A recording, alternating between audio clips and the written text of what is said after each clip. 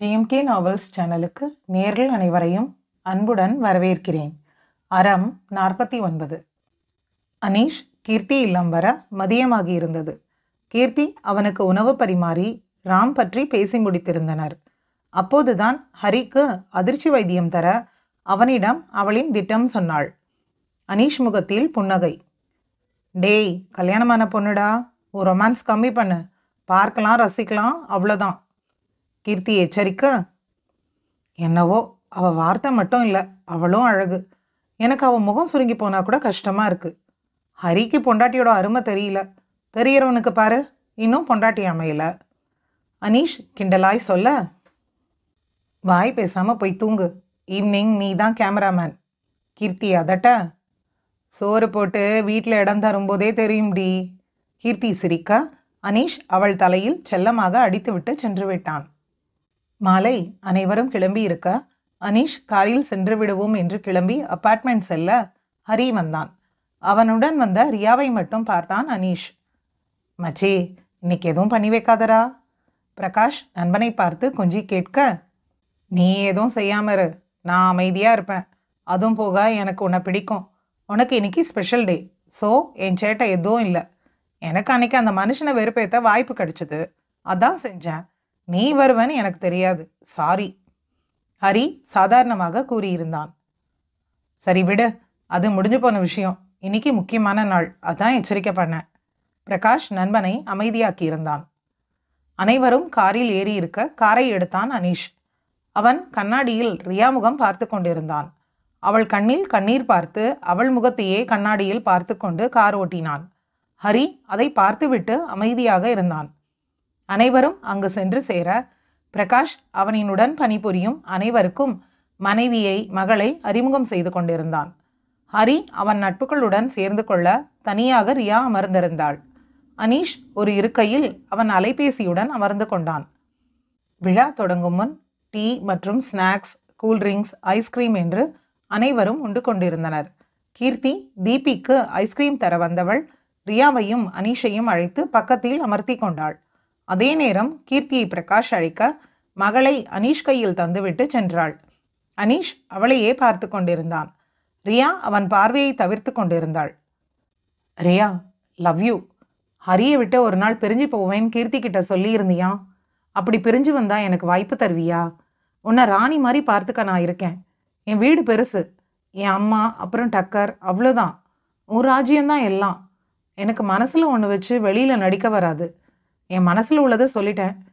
ஹரி போல ஒருத்தன் கூட வாழ தேவையே இல்லை ரியா. நல்லா யோசிச்சு பதில் சொல்லு. அனீஷ் நேரடியாக கேட்க தப்பாக பேசுகிறீங்க அனீஷ். நீங்கள் என் வாசகர் அவ்வளோதான் கீர்த்தி அண்ணி மேலே உள்ள அதே மரியாதை உங்கள் மேலே இருக்குது அதை கெடுத்துக்காதீங்க. என்ன தெரியும் என் புருஷனை பற்றி உங்களுக்கு? கோவத்தில் வருத்தத்தில் கூட நான் யாருக்கும் அவரை பற்றி சொன்னதில்லை. முதல் முறை கீர்த்தி அண்ணியை நம்பி சொன்னேன். அதை தெரிஞ்சுக்கிட்டு இப்படி பேசுகிறீங்க ஆமாம் எனக்கு பிரச்சனை இருக்குதான். ஆனால் நான் உங்களை ஒன்றும் உதவி கேட்கலையே.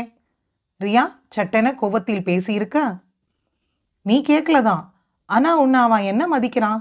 நீ மூணு புக் எழுதின ரைட்டர் அது அவனுக்கு தெரியுமா? உன் அறிவு சிந்தனை ஆசை ஏக்கம் உன் எழுத்து வழியாக உன் மனசை படித்தவனா எத்தனை கனவு அதுக்குள்ள? உண்மையாக சொல்லு. உனக்கு இதில் வேதனை இல்லவே இல்லைன்னு. அனீஷ் கேட்க. ஆமாம் இருக்குது அவர் மேலே கோவம் இருக்குது என்னை எப்போ புரிஞ்சுப்பாருன்னு ஏக்கமும் இருக்குது அவரை விட்டு போகணும்னு முடிவும் இருக்குது உண்மைதான். நான் விட்டு போனால் அவர் என்னை தேடி புரிஞ்சு வருவார். நான் அவரை முழுசாக விட்டு போக மாட்டேன். ரியா பதில் சொல்ல? உன்னோட தானே வாழறான். உன் கூட இருக்கும்போதே புரியல. இதில் பிரிஞ்சு போனால் மட்டும் புரிய போகுதா? ஆம்பளை திமிரில் வேற ஒரு பொண்ணை தேடி போக போகிறான் அவனுக்கு அடங்கி போகிற பொண்ணு வேணும். அடங்கி இருக்க பணம் தான் கிடைக்கும். காலம் முழுக்க அவன் கூட நீ பணமாக தான் வாழணும். விட்டு வா ரியா. அனீஷ் சொல்ல? என்ன அனீஷ் பேசுறீங்க? அவர் ஒன்றும் அவ்வளோ கல்லஞ்சு இல்லை. அவருக்கும் என் மேலே அன்பு பாசம் எல்லாம் இருக்கு. அவர் வளர்ந்த விதம் அப்படி. எல்லா ஆம்பளையும் இப்படித்தான். இது இப்போவும் ஆணாதிக்க சமூகம்தான். இங்கே என் புருஷன் மட்டும் வேற எப்படி இருப்பார்? அவரை குறை சொல்லாதீங்க. என் புனைப்பெயர் கூட ஹரியா தான் ஹரியும் ரியாவும் ஒன்று என்னால் அவர் விட்டெல்லாம் வர முடியாது. அவர் அன்பு கூட குறைய இருக்கலாம். ஏன் அன்பு நிஜம்? குறையில்லாத மனுஷன் இங்கே யாரு? எனக்கு நம்பிக்கை இருக்குது அவருக்கு ஒரு நாள் என்னை புரியும். அப்போ என்னை தலையில் வச்சு கொண்டாட தான் போகிறார் ரியா கண்ணீருடன் சொல்லியிருக்க. கொண்டாடுவீங்களா ஹரி? அனீஷ் கேட்க. ரியா அதிர்ந்து பின் திரும்பி பார்க்க. ஹரியும் அதிர்ந்துதான் நின்றிருந்தான். அனீஷ் பேச ஆரம்பிக்கும் போதே கீர்த்தி அவனை அங்கு அழைத்து வந்திருந்தாள். ரியாவின் மனம் அறிய ஹரிக்கு ஒரு வாய்ப்பாக இது மாறி இருந்தது ஹரியண்ணா இதுக்கப்புறமும் ரியாவை உங்களுக்கு புரியலன்னா கஷ்டம். அவ காதலுக்கு கொஞ்சம் மரியாதை கொடுங்க. கீர்த்தி கூற நல்ல மனைவி வாழ்க்கையில் வரும். அதை தவற விடாதீங்க. இது என் கார்கி. கார்க்குள்ளே போய் பேசுங்க. சிலர் நம்ம தான் பார்க்குறாங்க அப்புறம் இதெல்லாம் கீர்த்தி சொல்லி நான் பேசின வசனம். தப்பாக நினைக்க வேண்டாம். நான் அவங்க வாசகன். அவங்க வாழ்க்கையை சரி பண்ண ஒரு வாய்ப்பு கிடைச்சது. ஒரு டாக்டரா அவங்க தீவிர வாசகனா என் கடமையையும் என் உதவியையும் செய்தேன். அவ்வளோதான் அனீஷ் அரியின் கைப்பிடித்து சொல்லியிருக்க ஹரியும் சாவியை வாங்கி கொள்ள இருவரும் அந்த இடம் விட்டு நகர்ந்திருந்தனர். ஹரி ரியா கைப்பிடிக்க அவள் அழுதிருந்தாள். காரினுள்ளே அவள் ஏதேதோ சொல்லி அழ ஹரி அவளை அவன் நெஞ்சோடு அணைத்து அமர்ந்திருந்தான். இத்தனை நாள் அவனின் புரிதல் எத்தனை தவறு என்று யோசிக்க யோசிக்க மனம் கலங்கி போனது. அனீஷ் சொன்னது போல நடைப்பினமாக வாழ்ந்திருக்கிறாள்.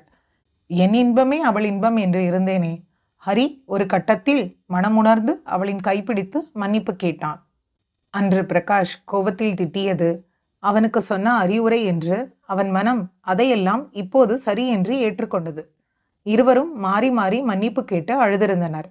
ஹரி ரியாவின் புத்தகம் எழுத்து பற்றி கேட்க அவள் கீர்த்தி செய்த வேலையை சொல்ல ஹரிமுகம் சுருங்கி போனது. யாரோ ஒரு பெண் எங்கிருந்தோ வந்து புரிந்து கொண்ட அளவு கூட தன் மனைவியை பற்றி தான் புரிந்து கொள்ளவில்லை என்று உணர்ந்து கொண்டான். அப்போது அலைபேசி சத்தம் தர அதை எடுத்தான். வீட்டுக்கு போய் மீதி பேசலாம். அரை மணி நேரமா என்னடா பண்ற? பிரகாஷ் கிண்டலாய் கேட்க கொல்ல போறேன் பாரு உன்னை. ஹரி சொல்ல. நான் பாராட்டு வாங்குறேன். அப்புறம் என்ன வேணாலும் பண்ணு. சரி வாங்க. ஃபங்க்ஷன் ஆரம்பிக்க போகுது. பிரகாஷ் சொல்லவும் இருவரும் முகம் கழுவி வர ரியா முகத்தில் இப்போது புன்னகை. கீர்த்தி கைப்பிடித்து நன்றி சொன்னாள். உயிரை பணையம் வச்சு பேசினது நான். நன்றி யாருக்கோ இல்லை? அனீஷ் கேட்க. நன்றி அனீஷ். உங்கள் கேள்விங்க தான் என் மனசை எனக்கே புரிய வச்சது. ரியா கூற சந்தோஷமாக இருங்க. வாழ்த்துக்கள். அனீஷ் கூறிவிட்டு இருக்கையில் சென்று அமர ஹரி தயங்கி வந்து பிரகாஷ் பக்கம் அமர பிரகாஷ் அவன் கைப்பிடித்து கொண்டான். கில்ட்டியாக ஃபீல் பண்ணாதடா. நானும் தான் கீர்த்தி கூட சண்டை போட்டேன். இப்போ சமாதானம் ஆகலையா? பழசை விடு புதுசாக ஆரம்பி. தீபியை என் கையில் கொடு. மனசு இன்னும் ஏதோ போல இருக்கு. ஹரி கூற. அப்போ டாக்டர் கூட பேசு. பிரகாஷ் சொல்லிவிட்டு இடப்பக்கம் திரும்பி கீர்த்தியை அழைக்க இடம் மாறி அமர்ந்தனர். சாரி அண்ணா என் திட்டம் தான் இதெல்லாம்? வந்த இடத்துல உங்களை தொல்லை பண்ணிட்டேன். இவ்வளோ பெரிய கூட்டத்தில் நம்மளை யாரும் கவனிக்க மாட்டாங்கன்னு ஒரு தைரியம். யார் பார்த்தாதான் என்ன? இது நம்ம வாழ்க்கை நம்ம இஷ்டம்.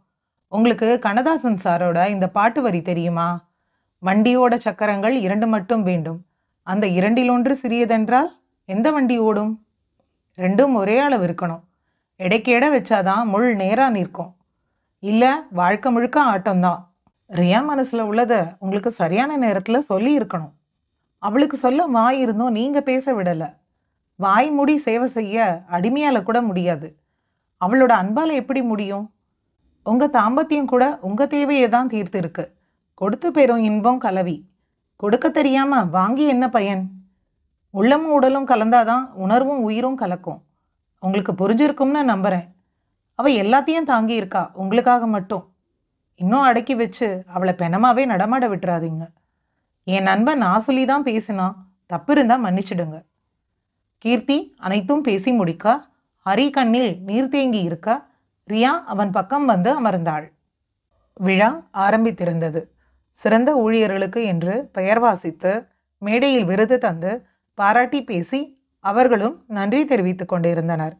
பிரகாஷ் முறை வர தீபி அவன் கைவிட்டு இறங்க மறுக்க கீர்த்தி ஒரு வார்த்தை சொன்னதும் அவள் கைக்கு மாறிவிட்டாள். அனீஷ் கேமரா உயர்த்த பிரகாஷ் மேடை வந்து விருது வாங்கி அவன் பற்றி அவர்கள் பாராட்டி பேச பிரகாஷ் நன்றி சொல்லும் முறை வந்தது.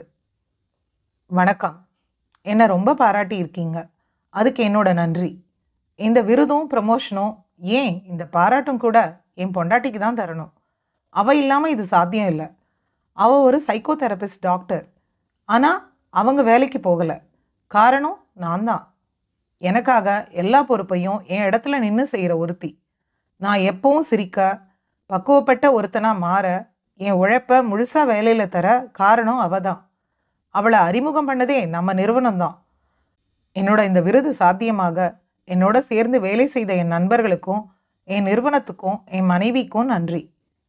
பிரகாஷ் பேசி கீழே வர ஹரி வாழ்த்து சொன்னான் கீர்த்தி கையில் விருதை தந்து கண்ணடித்தான் பிரகாஷ். அனீஷ் அதையெல்லாம் பதிவு செய்து கொண்டிருந்தான். விழா முடிந்து இருக்க முதலில் சொல்லிவிட்டு இல்லம் சென்றது ஹரியும் ரியாவும் தான் அனைவரும் இல்லம் வர அனீஷ் அவன் இல்லம் கிளம்பியிருந்தான். டேய் எதுவும் தப்பாக செய்திருந்தா சாரி கீர்த்தி சொல்ல என் மனசில் உள்ளதெல்லாம் ரியா கிட்ட கேட்டேன்டி. அது போதும். அவன் முகத்தில் கிளம்பும்போது ஒரு வெக்கம். நல்ல பொண்ணு. அவள் சந்தோஷமாக இருக்கட்டும். எனக்கு இதில் வெற்றியும் இல்லை தோல்வியும் இல்லை. ஆனால் நம்ம நேசிக்கிற ஒருத்தர் சந்தோஷமாக இருந்தா அது நமக்கும் சந்தோஷம் தானே எல்லாரையும் கேட்டதா சொல்லு. சீக்கிரம் கல்யாண சோறு போடு சரியா? கீர்த்தி வேறு கதைக்கு மாறி இருக்கா? அம்மா பொண்ணு பார்த்துருக்காங்க. சீக்கிரம் போட வாய்ப்பு உண்டு. சொன்ன அனீஷ் கிளம்பியிருந்தான் பிரகாஷ் பின்னிருந்து அணைக்க கீர்த்தி அவன் முகத்தை அவள் தோளில் வாங்கி கொண்டாள். அறம் ஐம்பது. ராஜேஷ் மாமா கிட்ட சொல்லு. என் புருஷனுக்கு கோயம்புத்தூர் விட்டு ஜெய்ப்பூர் மாற்றியிருக்காங்கன்னு இனி வானவில் அப்பார்ட்மெண்ட் அவர் பொறுப்பு. எனக்கு என் பொண்டாட்டி வேணும். டுவெண்ட்டி ஃபோர் பை செவன் உன்னோட இருக்கணும். ஒரு வாரம் லீவ்னா பிரகாஷ் அவள் காதில் சொல்ல எதுக்கு ஜெய்ப்பூர்? ரொம்ப தூரம்மா. கீர்த்தி கேட்க நான் அங்கே தான் படித்தேன் என் ஃபேவரட் ஊர் தெரியுமா? அங்கே போக முடியுமான்னு கேட்டது யார் தெரியுமா? என் ஜோனல் மேனேஜர் என்ன நம்பி போக சொல்லியிருக்கார். நான் ஓகே சொல்லிட்டேன். இதுவும் உன்னை நம்பி தான். அத்திக்கு கஷ்டம் இல்லை. அதுவும் போக நான் வானவில் அப்பார்ட்மெண்ட் விட்டு வரணும். ரியா இனியா நான்சி எல்லாரையும் மிஸ் பண்ணுவேன். நாங்கள் எல்லாம் ஃப்ரெண்ட்ஸ் ஆகிட்டு இருக்கோம் தெரியுமா? கீர்த்தி குறைப்பட அம்மா பழகிப்பாங்க. படிக்கும்போதே எனக்காக ரெண்டு மாதம் விட்டு ரெண்டு மாதம் தங்கியிருக்காங்க. ஸோ கவலையை விடு. இது டூ தௌசண்ட் நைன்டீன்மா வீடியோ கால் எதுக்கு இருக்கு? பிரகாஷ் கேட்க. கீர்த்தி யோசித்து சம்மதம் சொல்ல. அடுத்து வந்த வாரத்தில் கீர்த்தியின் அலுவலக அறையை மூடியிருந்தனர். ராஜேஷ் வந்து பொறுப்பை வாங்கி கொண்டார்.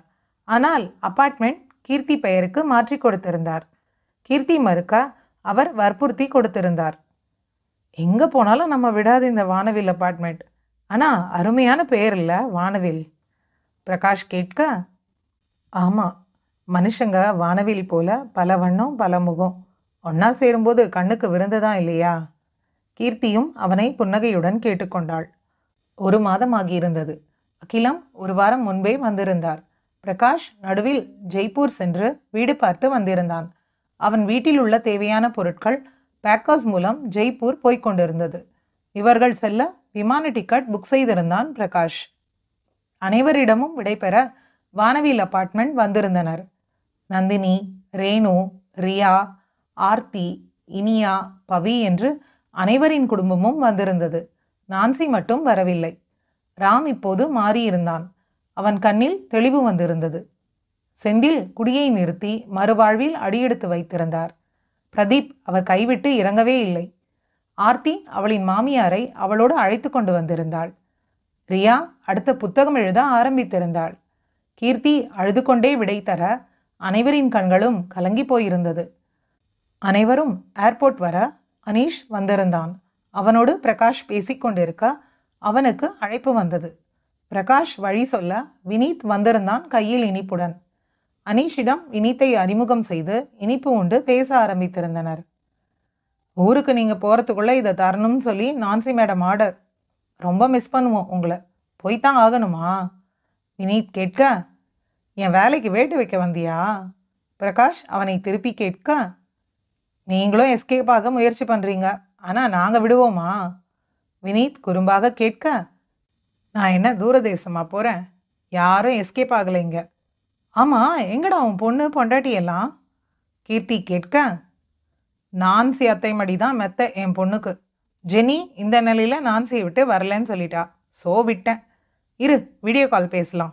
வினீத் சொல்லிவிட்டு வீடியோ கால் இணைக்க ராஜீவ் அழுவது போல முகம் சுருக்க கீர்த்தி வம்பிழுத்து பின் நான்சி ஜெனி என பேசி விடைபெறவும் விமான அழைப்பு வரவும் சரியாக இருந்தது. தீபி கன்னத்தில் முத்தம் வைத்து அனீஷ் விடை தர வினீத்தும் முத்தம் வைத்து அனுப்பினான். ஜெய்ப்பூர். இந்திய நாட்டின் மேற்கிந்திய பகுதியில் அமைந்த ராஜஸ்தான் மாநிலத்தின் தலைநகரமாகும். இது இளஞ்சிவப்பு நகரம் பிங்க் சிட்டி என்றும் சிறப்புடன் அழைக்கப்படுகிறது. மூன்று மாதம் கழித்து. பிரகாஷ் கொஞ்சம் கொஞ்சமாக வேலையில் தன்னை சேர்த்து கொண்டிருந்தான். இப்போதுதான் ஊர் பழக ஆரம்பித்திருந்தது. பிரகாஷ் குடியிருந்த அபார்ட்மெண்ட் வீடு அகிலம் மற்றும் தீபிக்கு மிகவும் பிடித்திருந்தது.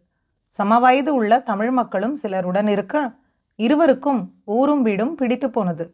பிரகாஷ் வர கீர்த்தி உறங்கியிருந்தாள். இப்போதையெல்லாம் தீபி அகிலமுடன் தான் தூங்குகிறாள். பிரகாஷ் அறையுள்ளே வர தூங்கும் அவளை பார்த்துவிட்டு தானே உண்டு சுத்தம் செய்துவிட்டு அவளுக்கு என்று பாலாற்றி கொண்டு வந்து வைத்தான். இரவு உண்ண அவளுக்கு என்று பக்கத்தில் பழங்கள் முன்பே அகிலம் வைத்திருக்க பாலையும் வைத்துவிட்டு அவள் அருகில் தூங்கியிருந்தான். பாதி இரவில் கீர்த்தி எழுந்திருக்க பிரகாஷ் அவளுடன் எழுந்திருந்தான். அவள் நெற்றி பிடிக்க வாந்தி எடுத்தவள் சுத்தம் செய்து விட்டு வந்து கட்டிலில் அமர்ந்தாள். பிரகாஷ் பால் தர முகம் சுருக்கினாள். அடியே புலி என் பையனுக்கு பசிக்கும் குடி. நம்ம பூனைக்குட்டியை விட உன்னை படுத்துறான். அப்படியே உன்னை போல பிடிச்ச பிடி விடாம. பிரகாஷ் அதட்ட. ஆமாம் ரொம்ப முடியல. இப்போல்லாம் சோர்ந்து போகுதுமா. கீர்த்தி சொல்ல. பிரகாஷ் அனைத்து அமர்ந்து பால் தர குடித்திருந்தாள். கை காலெல்லாம் பிடித்துவிட்டு தலைவருடி தூங்க வைத்து கொண்டிருந்தான். உறங்கும் அவளை பார்த்து காதல் இன்னும் கூடி போனது நெற்றியில் முத்தம் வைத்துவிட்டு அவளை அணைத்து கொண்டு உறங்கியிருந்தான். சுபம். ஆசிரியர் குறிப்பு. எந்த இல்லத்தில் அன்பும் புரிதலும் உண்டோ அங்கே அமைதி உண்டு. எங்கே அமைதி உண்டோ அங்கே நிம்மதியும் இன்பமும் உண்டு. இன்பமான மனநிலைதான் உங்களை உத்வேகத்தோடு செயலாற்ற வைத்து வாழ்வில் வெற்றியை பெற்றுத்தரும் நீ நான் என்பது அல்ல நாம் என்பதுதான் இல்லறம். உன்னோடு வாழ முடியாத அளவுக்கு ஒருவரை கொண்டு வந்து நீ நிறுத்தியிருந்தால் முதல் தவறு உன்னுடையதுதான். கொடுத்தால்தானே கிடைக்கும். எதிர்பார்ப்பின்றி அன்பை கொடுங்கள் நிச்சயம் திரும்பி வரும். கணவனோ மனைவியோ வெற்றி பெற்றால் அதன் சமபங்கு அவர்களின் சரிபாதிக்குதான் சமர்ப்பணம். வீட்டிலும் வெளியிலும் சேர்ந்து கிடைப்பதுதான் வெற்றி. அதுவே இனிய இல்லறம். அன்பும் புரிதலும் உங்கள் அனைவரின் வாழ்விலும் நிறைய வேண்டும் என்று வாழ்த்தி இறைவனிடம் வேண்டி விடைபெற்றுக் கொள்கிறேன். அன்பு அனைத்தும் செய்யும் அன்புடன் கௌரி முத்துகிருஷ்ணன். அடுத்து கீர்த்தி பிரகாஷ் இருவரும் நாயகன் இரண்டில் உங்களை சந்திப்பார்கள். அவர்களை நீங்கள் நாயகன் இரண்டில் சந்திக்க வேண்டுமென்றால் நாயகனை சந்திக்க வேண்டும். நாயகனை சந்திப்போம்.